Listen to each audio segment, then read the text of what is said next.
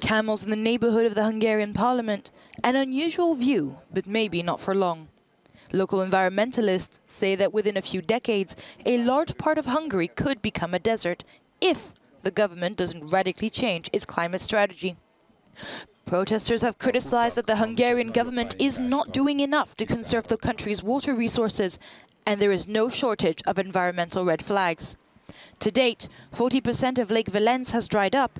The Kiskunság region, where there is a biosphere reserve, has been declared a semi-desert.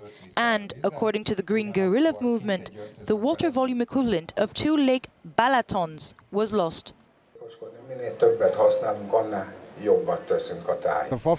The trees are dying. Only the very resistant grasses survive. Soon you will only see pure clay sand dunes and dry vegetation next to the road.